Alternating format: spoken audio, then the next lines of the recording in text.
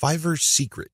The secret to Fiverr's success is to enable people to post whatever services they may have, ranging from graphics design to writing to virtual assistant services to video spokesperson services and others for a flat fee.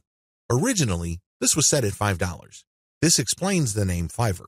But as customers' needs have changed and the market evolved, Fiverr now allows service providers to charge the price they're most comfortable with. Compared to traditional freelancing, Fiverr removes a lot of doubt and guesswork from the freelance process. When you go to places like Freelancer or Upwork, you basically see a listing of somebody who needs work done. As a potential freelance contractor, you send in your bid. It's anybody's guess whether your bid will get accepted or not. Fiverr flips that model on its head. Instead of customers posting their requirements as well as their budget range, service providers provide a description of the service that they would do as well as samples of their work. Most importantly, providers are required to put a fixed price on their service.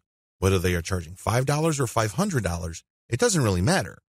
They have to provide a fixed price. This has taken much of the uncertainty and guesswork out of the process. It is no surprise that Fiverr continues to grow.